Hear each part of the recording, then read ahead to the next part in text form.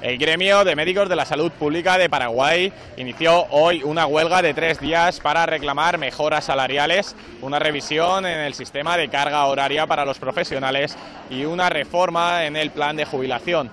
E informaron de que permanecerán aquí frente al Ministerio de Salud durante los tres días que durará la huelga. Los convocantes suspendieron todos los servicios de consultorio externo, cirugías programadas y estudios ambulatorios, pero mantuvieron los tratamientos a pacientes críticos que no pueden ser postergados, como los oncológicos o los de diálisis, así como los servicios de urgencia, emergencia y cuidados intensivos.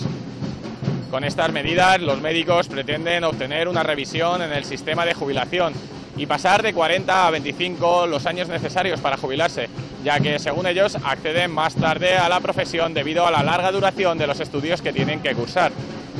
También pretenden obtener una revisión salarial acorde a la carga horaria que realizan durante sus jornadas.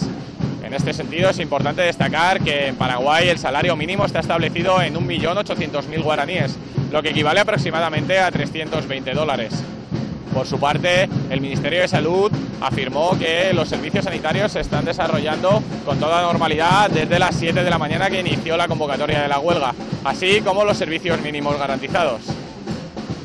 Desde la cartera sanitaria informaron de que eh, los reclamos de los médicos son justos, pero que no disponen del presupuesto necesario para acometer las reformas que piden, ya que costarían 130 millones de dólares, por lo que han pasado al Ministerio de Hacienda una propuesta para que sea evaluada.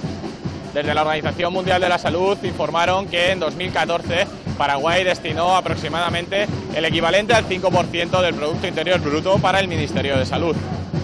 Desde Asunción informó Alberto Peña para la agencia EFE.